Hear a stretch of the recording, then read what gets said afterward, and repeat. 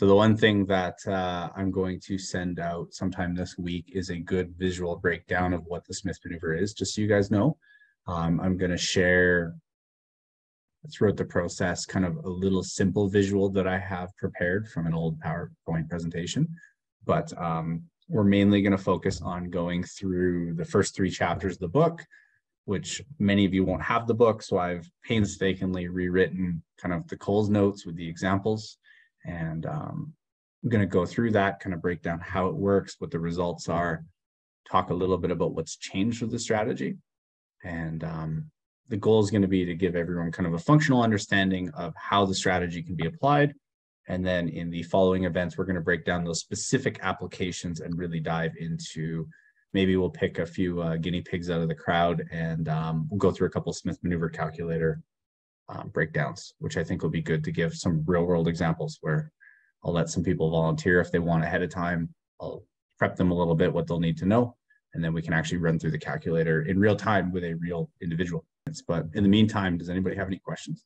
Well, how fast can you turn around a twenty-five year mortgage uh, to get it writable? Oh, um, I would say best case scenario I've seen is about six and a half, seven years to make it fully tax deductible. But that typically requires investment properties and cash damming. So you got to come up with cash. No. So the fastest way to make your mortgage fully tax deductible is to own one or two or three investment properties. You take the gross revenue, so rent before expenses, pay down your mortgage on your home, then you reborrow the rental property's expenses. And you can make your mortgage fully tax deductible in you know, six, seven years depending on the size of it, right? If you got one of those Vancouver monsters and you got a three million dollar mortgage, well, probably could take a little longer. If you live in Alberta, you probably do it in three years, two years. Yeah, well, I'm uh, thinking, well, I'm doing something different. I'm, I'm like you. I'm. We had a conversation what I'm looking at, and uh, I'm looking at some room and uh, whatever, and it's up there. But uh, the other one, what I've got in mind is uh, my kids at this point in time. I don't know how it's going to, how it would work with them. So that, thus I'm in trying to learn about it. I love how you're here looking for your kids. well, you know, hey, they could be running my operation. They don't want to.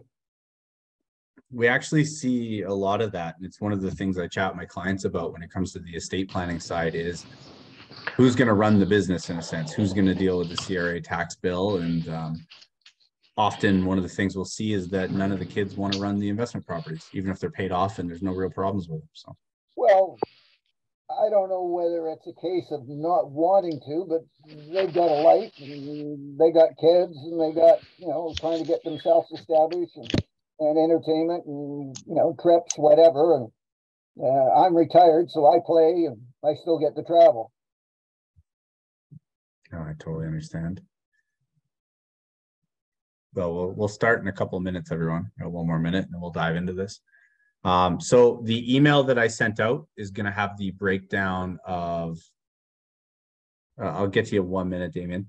Um, the email is going to have the breakdown of what we're going to be going through. I'll jump into a couple of visual things quickly and we will go through the first three chapters of the book anyone who hasn't received one can expect one very soon because they all hit the mail today. Well, not all, but the, the next 98.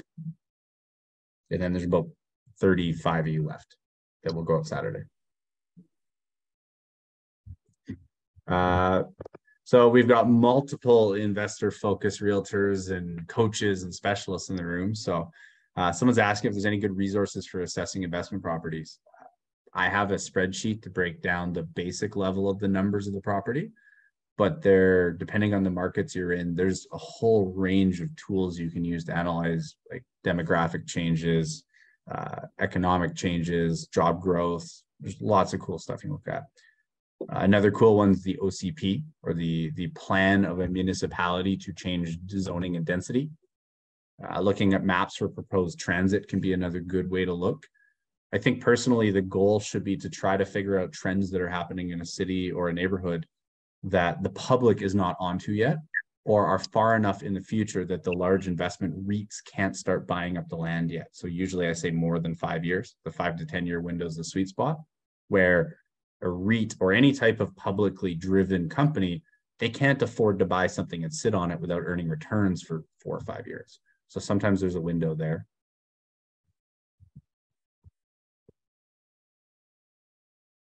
Cool. Well, let's dive into this.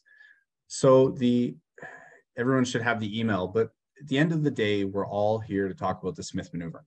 And the, the core of the Smith maneuver is a strategy to create tax deductibility. It is to pay off the bad or expensive debt on your home and to replace it with tax deductible debt, which has a lower cost and enables you to create investments for retirement. So there's two real pillars to the Smith maneuver. There is call it wealth creation, where you're borrowing to invest. And then there is debt conversion, which is where you're simply borrowing to convert debt. You're not creating new investments, but rather just replacing non-tax deductible debt with tax deductible debt.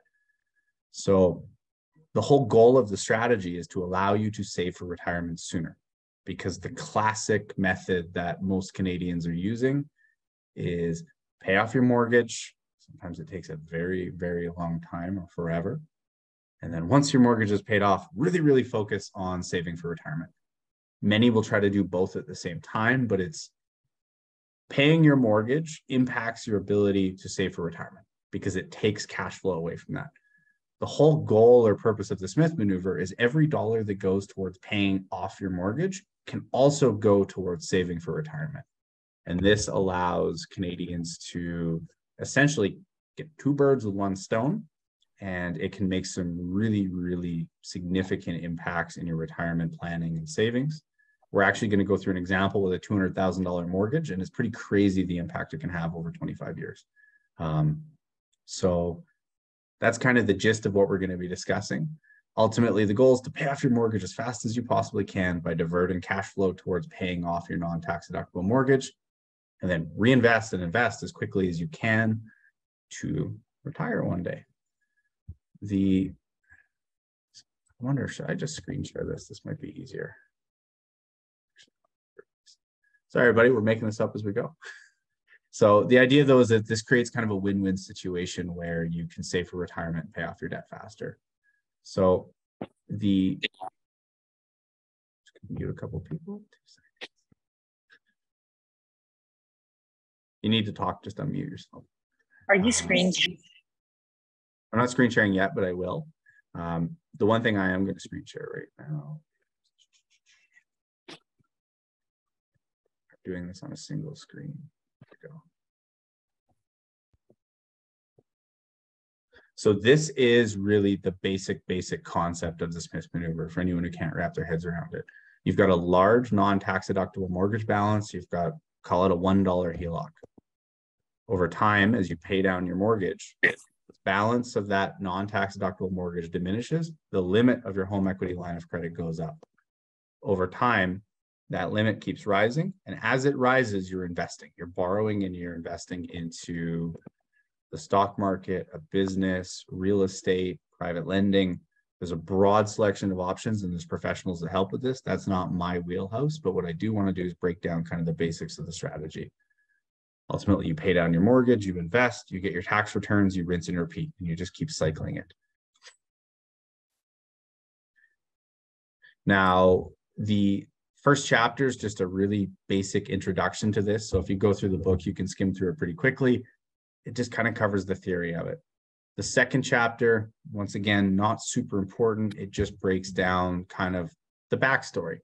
The idea is that the rich and wealthy people in Canada and the States, there's certain tax rules, tax loopholes, benefits that the wealthy get that us poor folk generally don't.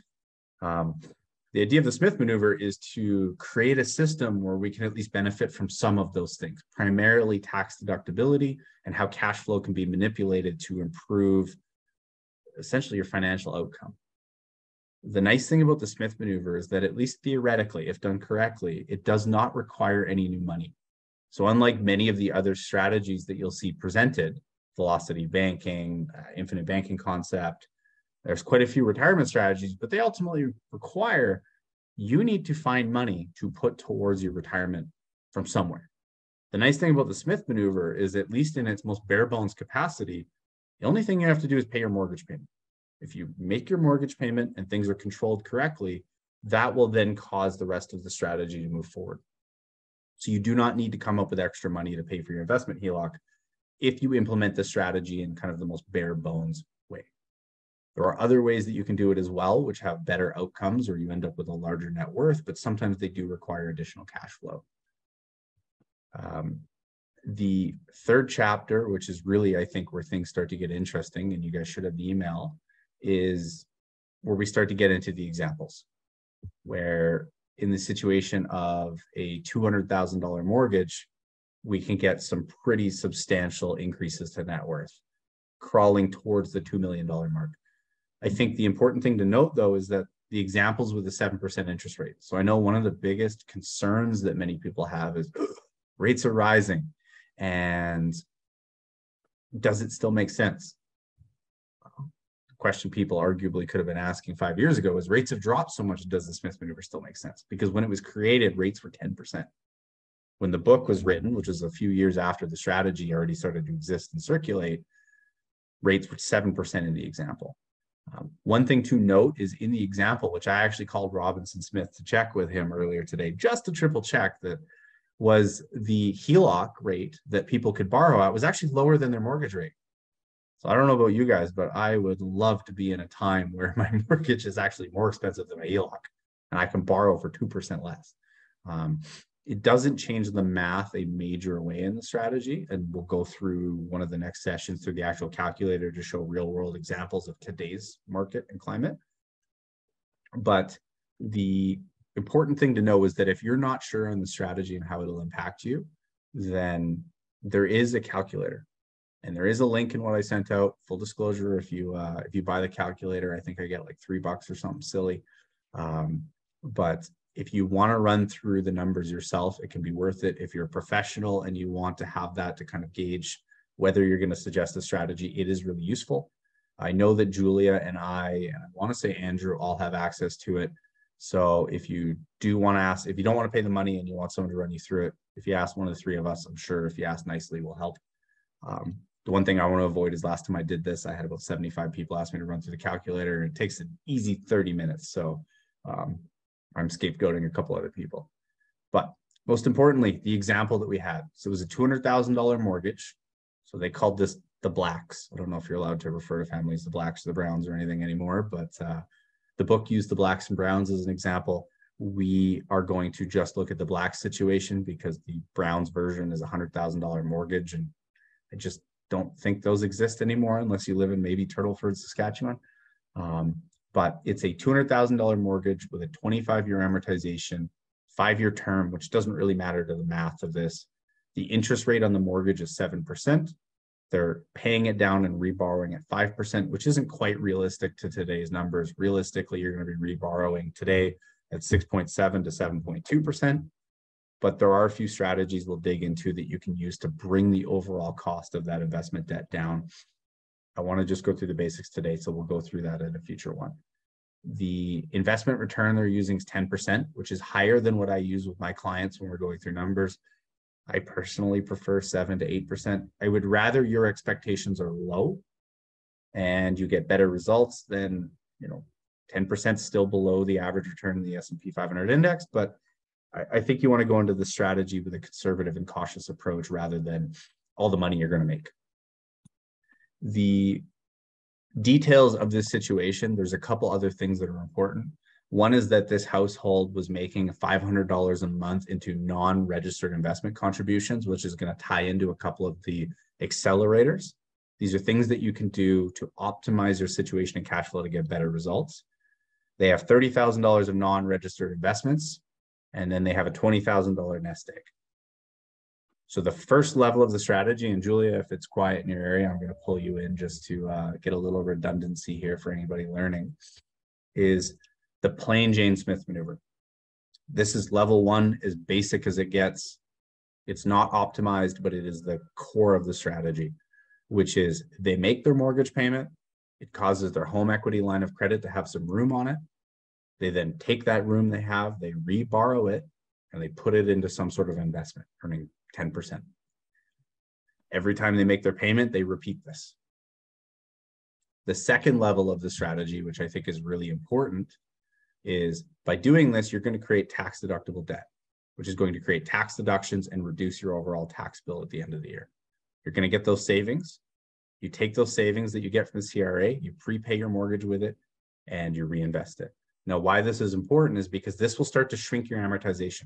In this example, that one little step shaves two and a half years off of how long they're making payments on their mortgage that's non-tax deductible. The cool thing about this is even with this little dinky $200,000 example, just doing these two basic steps of the Smith maneuver gives them a net worth increase of over $200,000. So I imagine that if anyone came to you and said, hey, you can do something that's going to take 10 minutes a month, and in 25 years, you're going to have an extra $200,000 when you retire. I imagine most of us would be pretty interested in what that 10 minutes a month is. So that's the core of the strategy. Julia, did you hear me? Do you want to spit that back if you can? Sure. I got a little bit of background noise here because I had to step into a Starbucks on my way home here to jump into the call. So, yeah, so uh, the layman's term on that would be you have your typical mortgage payment, you have your readvanceable mortgage. Um, it every time you make a mortgage payment, you've got some room on your HELOC and you're reborrowing and putting it into an actual investment. Um, and the beauty is that last part that Keaton made reference to is your when you get your tax credit based on your tax deductibility. Um, so you get a big paycheck it's from CRA at the end of the year. You take that check and you put it right back into your mortgage, so it decreases your um, the, the amount of years that you have on your mortgage to pay off. How's that, Keaton? Good awesome. little summary. Yeah, I'm gonna drag you along through this. I can get a little head in the clouds some days. So now we can do better. There are ways to optimize the strategy. And my advice is that if you're going to implement the Smith maneuver, you want to optimize it as much as you can because generally the primary risk of the strategy is the leverage aspect. Most of these optimizations do not increase the risk of the leverage significantly, but they do increase the reward of the strategy overall. So the next piece is what's called a debt swap. This can apply with or without the Smith maneuver's monthly aspect. And this is where you have some sort of cash that is non-registered. So this can be just cash in the bank. It can be anything that is in is not in a TFSA, an RESP, an RRSP, or any kind of pension layer, etc. So you take this non-registered investment. In this case, it's $30,000, and then they have their $20,000 rainy day fund. And what they do is they prepay their mortgage with it and then they reborrow it and they replace those investments. Couple notes you have to be careful of. One is prepayment penalties when you do this. Two is tax implications of liquidating those non-registered investments. And the last one is you can actually use this strategy to what's called tax loss harvest. If you have a non-registered investment that has lost value, if you sell that investment, you create a tax deduction because you lost money. So in that scenario, if you pay down your mortgage and then you mm-hmm. reborrow, you cannot buy that same investment for a period of time. Ultimately, you should talk to an accountant or financial advisor about this. Please do not do any of this strategy without having experts kind of guiding you through, because I'm not going to say it's super complex. It's certainly not super simple, but most importantly is there can be silly little rules that may apply to your situation, but don't get covered generally that can be pretty significant the nice thing though is by making that one extra step, by doing that $50,000 debt swap, they go from a $200,000 net worth increase to a $1.2 million net worth increase. There is a massive jump in the results because it causes a snowball where the investments happen faster and faster.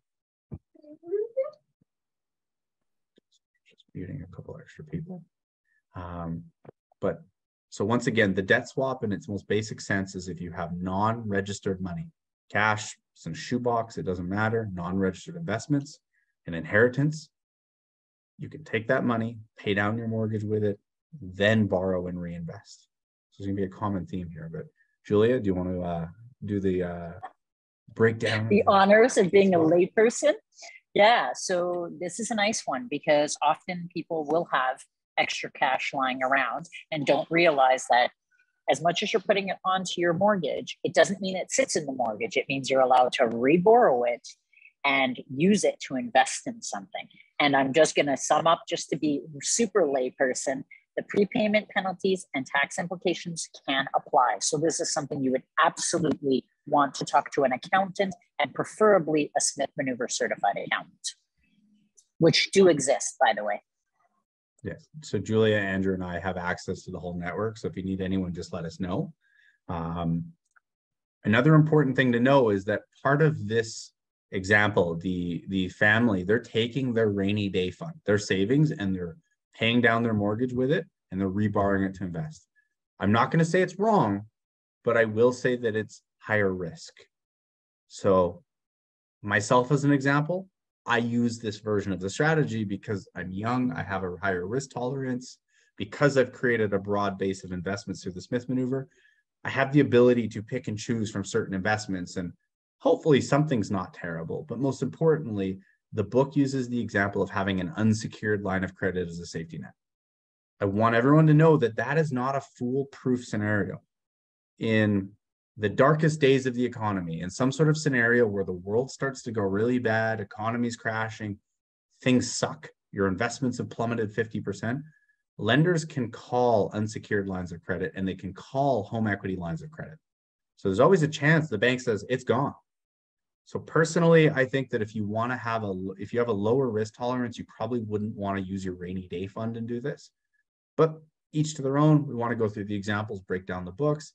I'm not going to agree with everything in the book, and this is one of them. Situationally, it can be okay if you're really, really stable. But if your risk tolerance is lower, wouldn't do it. Keaton, can I ask a question? Just For to sure. throw a spin in here. So if someone had a good portion of their mortgage already paid off and they're running into this situation, would you um, I'm not going to say advise because I know you need to understand the complexity of the situation and where they're at. But would this be something they could consider um, to kind of uh, accelerate having the mortgage paid down and have some of their money come back out so they can start investing, like let's say in a rental property if they wanted a, a down Are you payment? referring to pulling equity out of their home?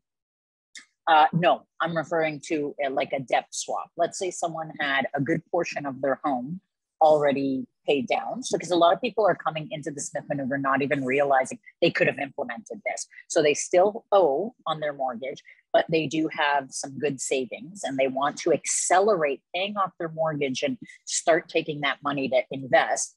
Would the debt swap be something that you would say, hey, that, you know, put that extra money down there and pull it out and go for it? For sure. The debt swap is one of the accelerators that I would say makes sense in the most situations. Because at the end of the day, you maintain the same level of debt, whether you do it or not. You have the same investments, you just create some tax deductibility. So your investment risk is there no matter what. You're investing in whatever you're investing. Your debt risk is there no matter what because you've already got that debt. Um, so I would say that yes, it is one of the things that we look at most for clients. And I wouldn't say it applies more or less to someone if they've paid off their mortgage if they have less debt.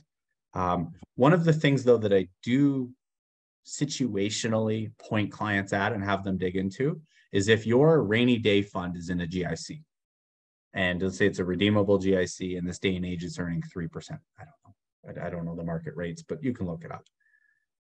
Sometimes the math makes sense to debt swap that GIC anyways because you're taking your rainy day fund, you're paying down your mortgage, you're reborrowing, you're recreating the rainy day fund with that same GIC. It does not always mathematically make sense, and we have to do a calculation there, but call it 50% of the time, it is beneficial. So there are situations where you want to keep that rainy day fund. You want to have that really safe investment. Let's call it a GIC. Um, there's another thing you can look up called GIC laddering, where if you want to put money into GICs and you want a low risk, sometimes what people will do is they'll say, okay, I have $100,000 to put into GICs and I want to optimize my returns while maintaining flexibility. Paraphrase GIC laddering and saying, okay, how much money do I need given 30 days notice? Let's just say 10 grand. You put $10,000 into a redeemable GIC, you can access that within reason at any time. Then they go, okay, how much money do I need, worst case scenario, with three months notice? Maybe it's $25,000. So they put $25,000 into a three month GIC because that's going to have a slightly higher return. And they stagger the money they put in GICs based on how quickly they reasonably think they'd need it. Because the longer you lock money into a GIC, the higher the return it pays is. And this can give you a high degree of flexibility while giving you a higher overall return than just putting your money into one flexible product. So that's my little aside. I'm not a financial planner. Please talk to an expert. Just get excited about this stuff. So once again, the debt swap in this example brings over a million dollar net worth increase. I'm a believer that when you look at the Smith maneuver, anytime you start to see six figure net worth improvement, great. It shouldn't be a quest of can I make it 2 million? Can I make it 3 million? I'm a believer of are you okay with the risks of the strategy? Is it moving you in a positive direction? Personally, I'm a believer that the Smith maneuver should complement your investment strategy rather than replace it. So it can be something that can accelerate it, but generally speaking, I wouldn't suggest the Smith maneuver is all you do. It's something that can accelerate what you're already doing. And I think that's an important thing that people get lost on. The next piece of the book that I think is kind of cool to consider, because this is all about optimizing things, is the cash flow diversion. So the cash flow diversion is where this couple, they're taking $500 a month and they're putting it into a non-registered investment account. We can make that a little better we take the $500 a month, we pay down the non-tax deductible mortgage with it, then we reborrow it and invest it. So we get the same debt overall, the same investments. We're just optimizing things to maximize tax deductibility to get out of that non-tax deductible mortgage faster. A little addition I'm going to add that's in the in Robinson Smith's book, but not Fraser's, is the dividend diversion. So in the event, let's say you've got you've done the debt swap, you've created fifty or hundred thousand dollars of non-registered investments. Some of them may pay dividends. There's something called a DRIP, which is a dividend reinvestment plan, and essentially that automatically reinvests your dividends into whatever stock you've purchased. But there's a better way to do it, and it's called the it's a diversion strategy. So you get your dividends, they go into your account, before you reinvest them, you take them, you pay down your non tax deductible mortgage, you reborrow them, then you reinvest them. So there's a theme.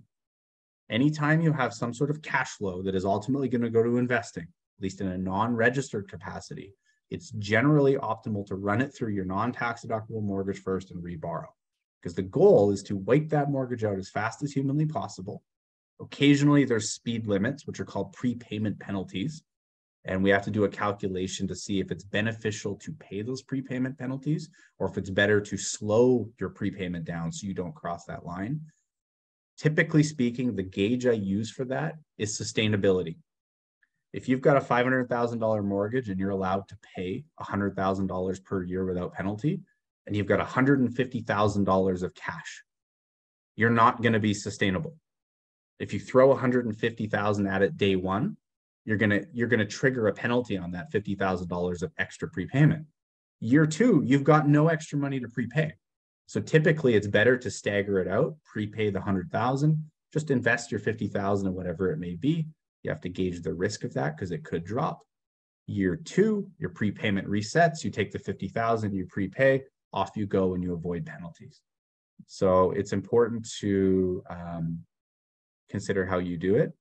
Uh, one of the questions we're getting from Melinda is, is it better to put money into a TFSA rather than running it this way? And that's where the advisors get involved.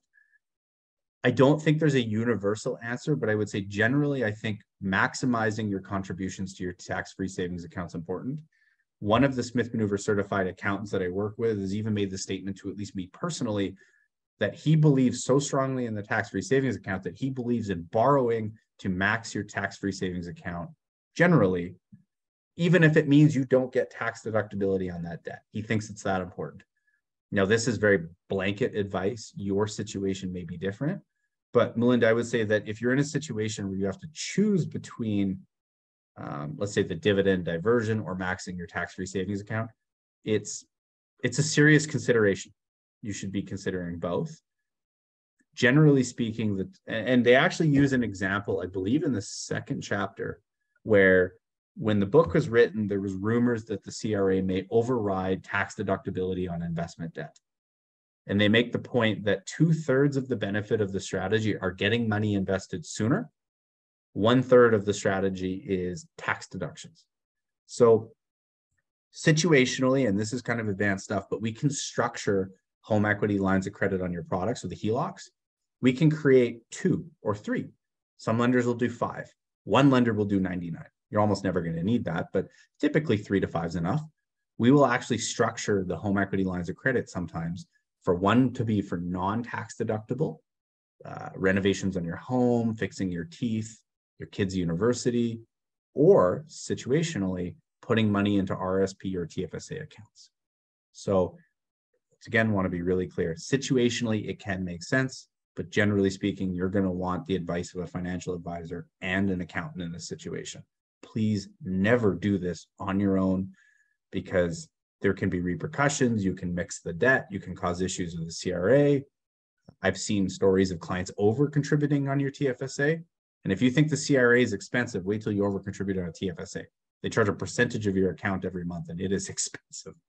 Um, but to summarize, the cash flow diversion is you take any cash flow you have, let's say money you're going to put towards investment savings, you run it through your mortgage, then you reborrow and then invest. You can also use dividends to do this in non-registered accounts. If you borrow in yes. your HELOC to put into your LIRA or your RSP or your TFSA or your RESP, it's not tax deductible. I wanted to make a comment about that TFSA. Um, I think it was Linda that asked about that.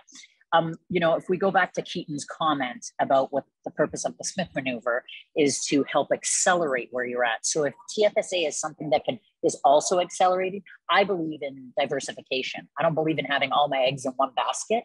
So it's definitely a question for your investment advisor or your accountant, but there is that fine line of should you be putting everything in one place or should you be building two eggs at this or boiling two eggs at the same time so just I just wanted to put my five cents in there. And moreover, a lot of people will put money into a TFSA, but if you're not doing anything with it, it's really not advantageous. So it's nice to build your TFSA and get it maxed up to the, I think it's 86,000 right now. That's awesome, but you've got to be doing something with that money. Otherwise, it's it doesn't matter that it's um, non-tax, that it's tax deductible. So yeah, one of the biggest misconceptions of the tax-free savings account is people think it's a savings account and they leave cash in it and they don't invest it. It's an investment account.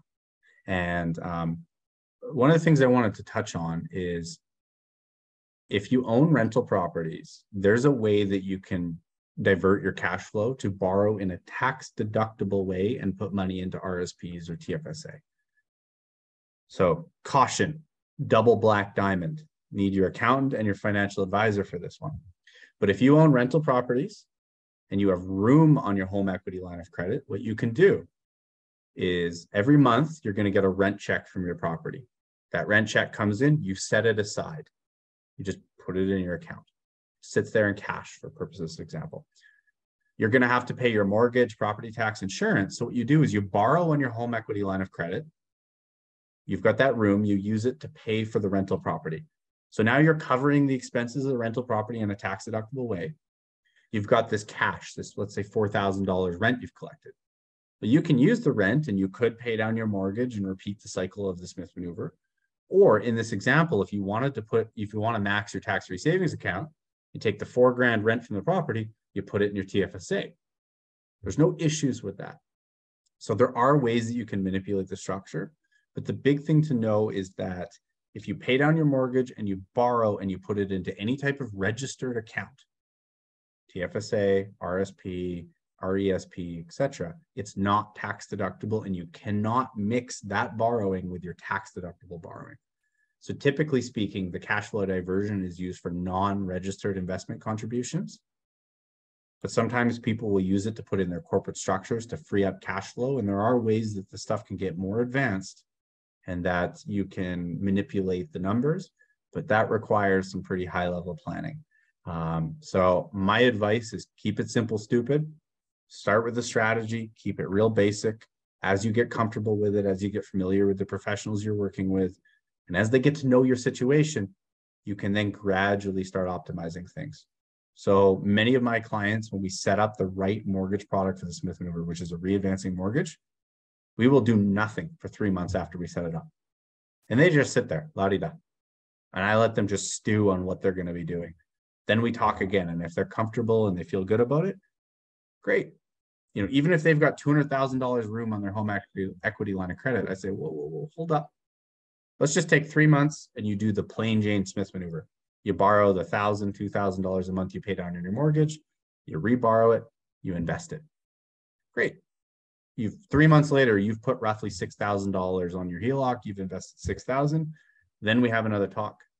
Julia, how are you feeling? Have you guys been stressed? Are you checking your investment account three times a day? These are typically warning signs. Um, at the end of the day, it's ideally a very, very long term strategy. If you're two years from retirement, almost certainly this is not the right strategy for you. If you're 22 years from retirement, it could be a good fit. And I think the best thing you can do is get the right professionals involved.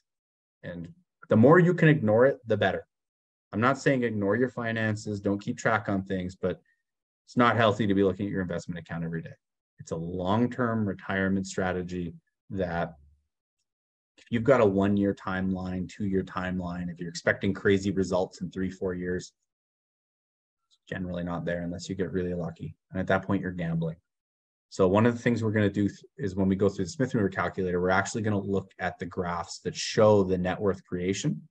And sadly, you're going to see most of it happens in the last five, ten years because that's the power of compounding interest. And the longer it sits, the better. So you see these as an example, the cash flow diversion in the example leads to almost a $1.9 million net worth increase. If you shave those five years off, if it goes from 25 to 20 years, it might be a, I don't know, $400,000 net worth increase. I have to look at the calculator to see exactly what it would be. But the important thing is that time is what makes this strategy successful. It's not super aggressive real estate investing. It's not super aggressive investing in the stock market. It's time. So if any of you guys have any questions, we're going to kind of unpack these three chapters. This is where we're going to draw a close for the book for this time. Um, I believe there's 12 chapters in the book, so we're roughly a quarter through it already.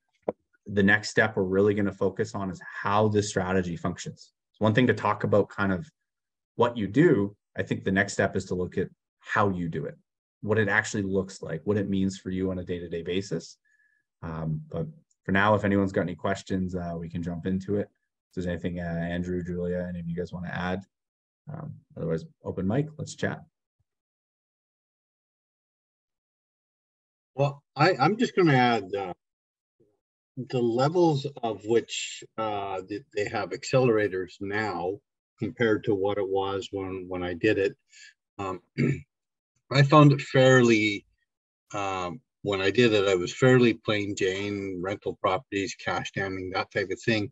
I found it, um, it was a super powerful tool even then.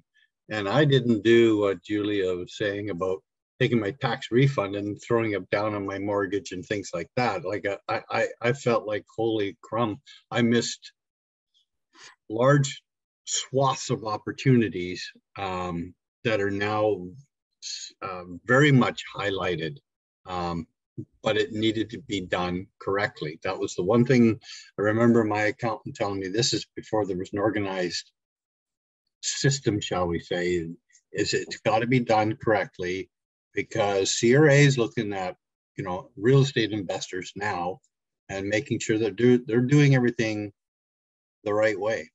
So um, if you think you can do it on your own, I would think twice about that. I definitely, I don't care if you guys never ever talk to any of us in the room. Just make sure you work with an accountant. This is this is not something to go do on your own.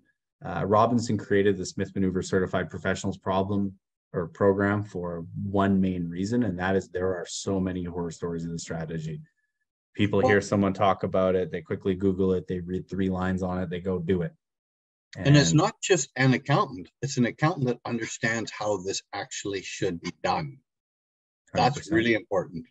And i'll share an example with everyone. I had a client that wanted to implement the strategy and their cpa charter professional accountant called me this lady reached out and said hey i'm working with so and so i want to touch base uh, clients interested in the smith maneuver and I don't like it. I said, Oh, okay, no problem. It's not for everybody. What's your concern or issue with it? And she says, Well, I don't like the idea of selling the home to the corporation. It just never makes sense. I, I'm I don't agree with it. I said, Oh, well, that's not the Smith maneuver. I, am not sure what that's called, but it's selling your home to your corporation is absolutely a tax strategy, but it's not the Smith maneuver. And she said, yes, it is. And I said, no, it's no, it's not. I've, I've got the both books with five feet away from me. Like I, I know that it's not the Smith maneuver. And she started arguing and telling me that she owns two accounting firms and she's been doing this for 25 years and she's the accountant. And uh, I finally won the argument by saying, Would you like me to dial the author of the Smith Maneuver book into this call? She started to realize that one, I personally knew the author. And two, I was really confident I was right and I was willing to pull the author in.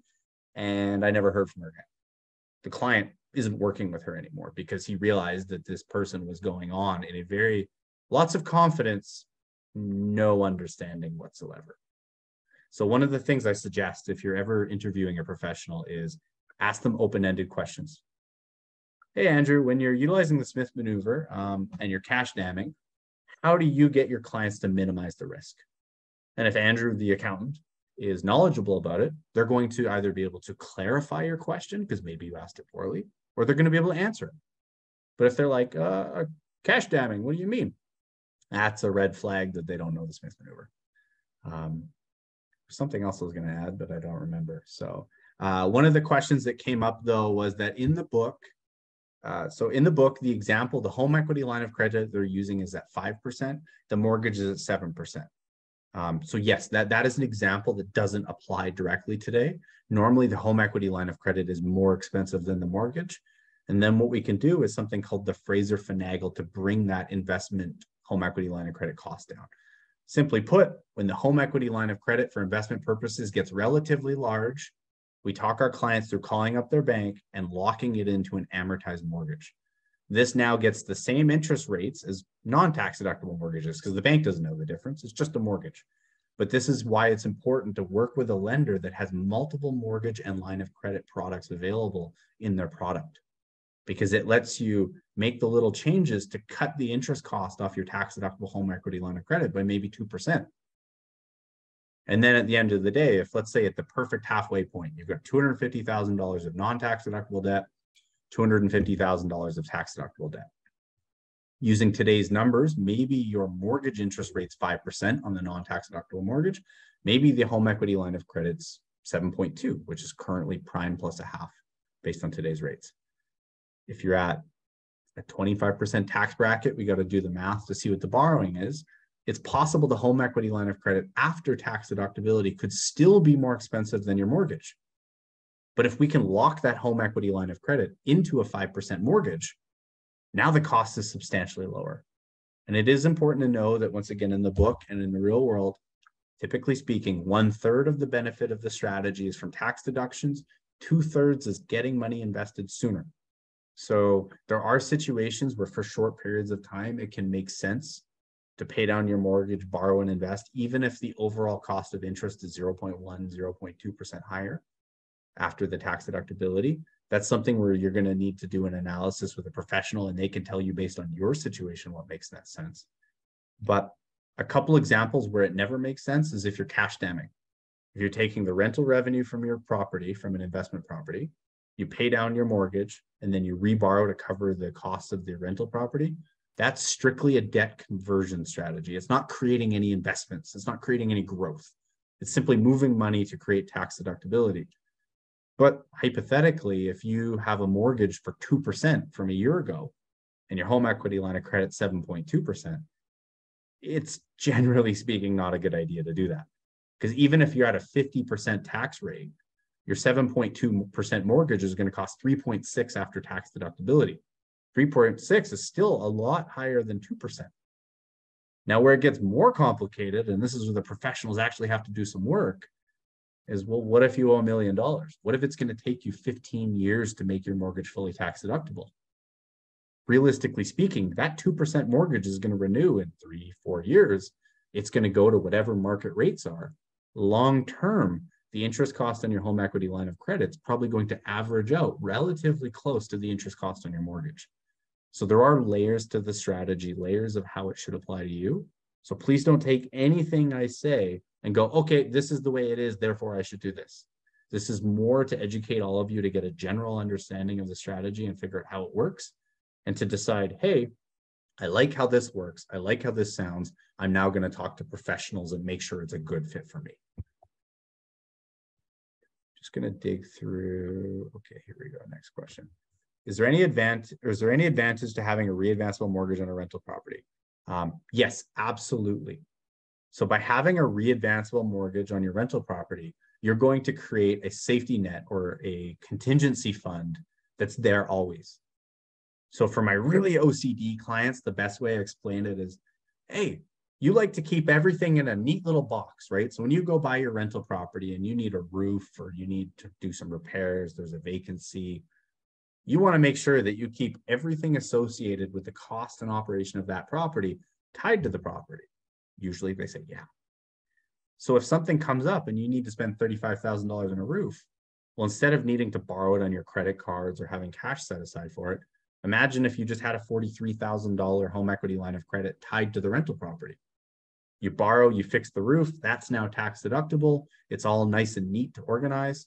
So it creates defensive benefits because you're creating a safety net as you pay down your rental property mortgage.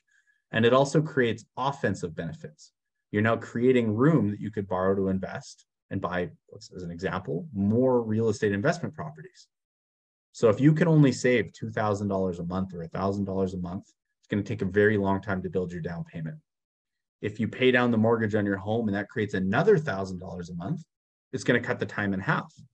But if you've got two investment properties that also pay down $2,000 a month, you can see how very quickly you start to build meaningful down payments. So in that example, you'd have $48,000 a year that you could use to create another investment property.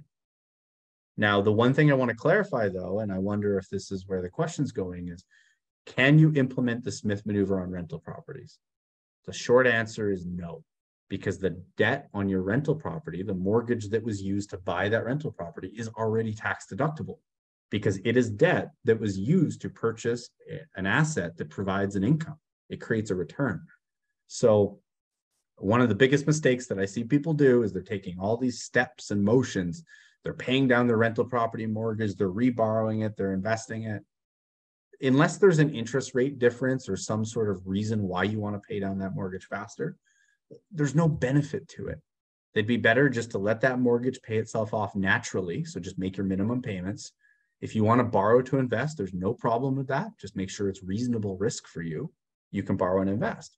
But forcing extra pay down on your rental property, there's no benefit unless, and this is one strategy that I'm using personally, I locked in the mortgage on my home but this would apply whether it's your home or a rental property. I have a re-advancing mortgage on my home and I have a HELOC. Now I was able to negotiate a HELOC rate of prime. So currently it's 6.7% and my mortgage is locked in at 5.09. If at any point in time interest rates drop, so my worst case scenario with a fixed rate mortgage, other than a massive prepayment penalty, is rates drop to let's say 3%. Now I'm really pissed off. I feel like a schmuck. I locked in my mortgage at 5%. My neighbors just got 3%, and I got two and a half years to go. Well, what I can do is I can use my home equity line of credit at prime. So maybe it's 3.7% or whatever it is, and I can pay down my mortgage with it. This does not make the borrowing tax deductible because I'm paying down non tax deductible debt. But what it does is it gets me out of that 5.09 and it moves it over to whatever prime is. So there are ways that you can use these readvancing products to really manipulate the numbers of your portfolio or to minimize the risks of, let's say, locking in. Another example where a readvanceable product would be really useful in a rental is let's say you took a five-year fixed and you're selling the property halfway through. You've got this line of credit that's built up and you go to the bank and say, hey, hey, Mr. Banker, I'm going to sell. And they go, oh, okay, no worries. It's a $25,000 penalty. Well, if I have 20% prepayment on that mortgage and I have room on my line of credit, on any line of credit, what I can do is borrow on the line of credit, prepay my mortgage the 20% the day before I sell the property. And what that's going to do is reduce the penalty on that mortgage by 20%. So in this case, that would save me $5,000. So there are ways where these products can be used outside of the Smith maneuver to just be good investors and they can be used to improve the returns of your investing by lowering your overall costs. Not everything's about the Smith maneuver and tax deductibility, but rather treating real estate investing or treating your investing like a business owner and stacking the deck. So no matter what happens, you're in the best position possible. Just gonna go through the last of these questions.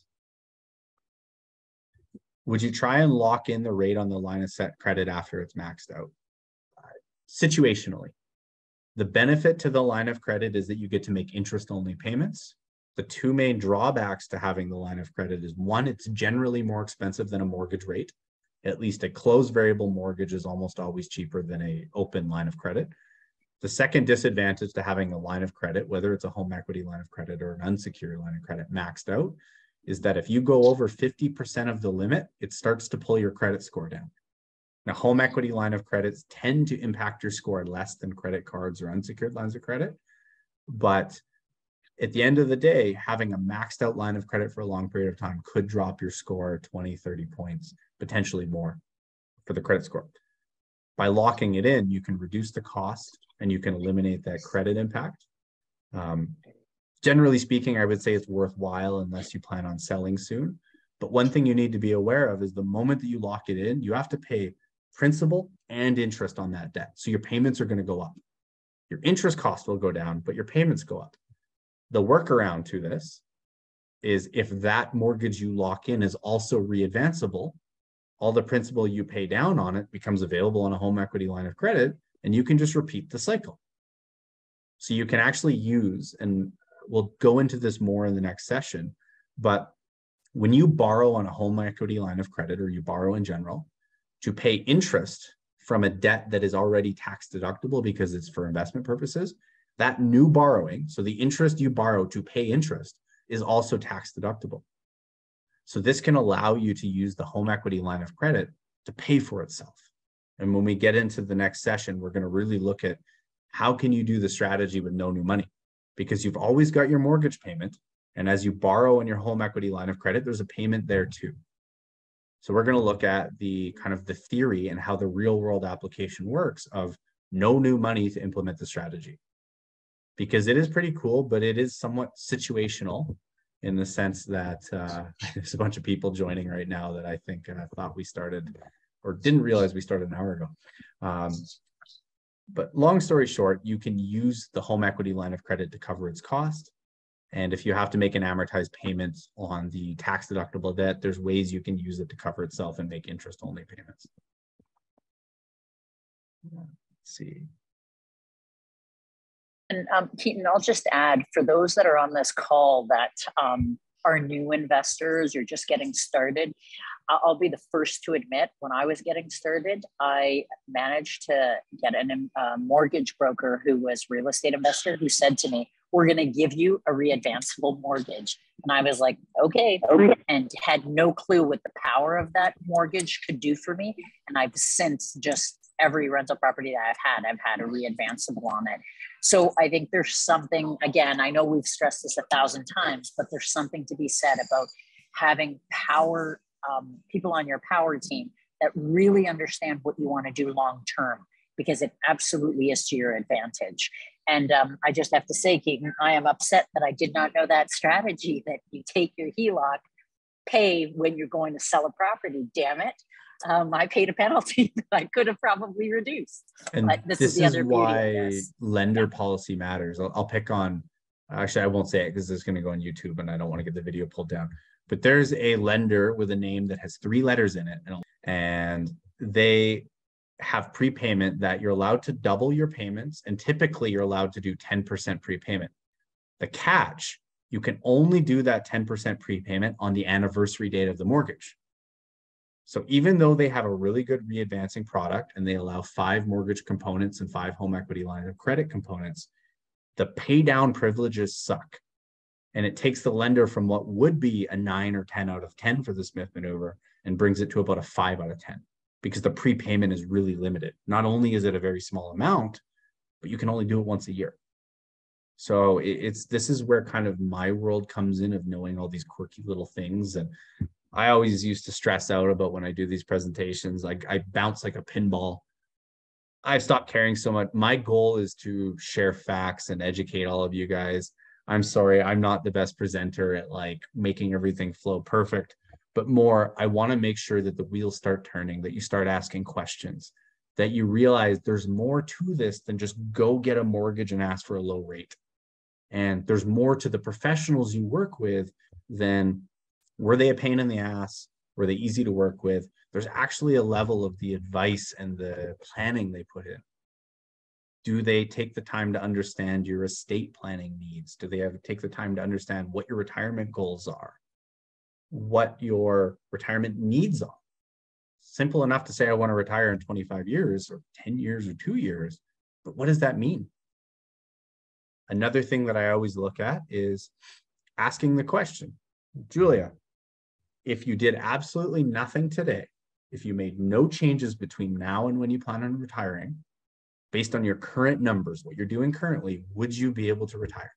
Would you have everything you need? And would additional money, so if you had an extra million dollars in your retirement, would it improve the quality of your retirement or let you do things that are really important to you? Like, let's say, help kids, family. If the answer is no, extra money wouldn't make any difference to me, then why the hell are you doing this? I'm going to be blunt. Don't take on extra risk if you don't need to. If your life's going to be perfect and you've got a kick ass pension plan and you got an inheritance from your parents and you're financially set, and if you had an extra $5 million, it wouldn't make a difference. Maybe your car would be a little bit nicer. Maybe you'd retire six months earlier, but it wouldn't improve what you're going to have. It wouldn't make you happier. Then my suggestion to you is instead of trying to make more wealth, try to lower your risk as quick as possible. You're already in a good position. If you talk to a financial planner and they've looked ahead and adjusting for inflation and the market changing and all that stuff that can happen. If the assessment is you're on track, don't don't go borrow a bunch of money to invest. Don't do a bunch of extra stuff that's going to complicate your life and potentially stress you out. Just pay it off. Enjoy your life. The problem is that probably 99.9% of Canadians, that's not us. I know it's not me. I know it's not most of my clients. And it doesn't matter if you're a doctor or you're a dentist or you're a plumber. The reality is that probably none of us are going to have what we need and what we want when we retire, particularly when we think about our parents, we think about our kids, we think about our health. So I think that that's where this strategy is really powerful is that yes, you get more, but it also means that you can help more. And one of the biggest things that drew me to the strategy was my normal savings for retirement was enough that maybe I could invest in the stock market. Maybe I could hope to buy one investment property on the side. The Smith maneuver made it so that I could invest in the stock market, I could buy real estate, I could look at different estate planning strategies that will save my kids. They'll get millions more because it'll eliminate or cover taxes that I have to pay. And what I liked is yes, the strategy brings some risk because of leverage, but it also lowered some risk because I was able to broad or di- broaden or diversify my investment significantly. And I was able to switch from investing in one or two things to becoming a table leg investor and investing in 10 different streams. But have a good night, everyone. See you next Thursday at 5 p.m. Pacific Standard Time, 6 p.m. Mountain Standard Time. Cheers, everyone.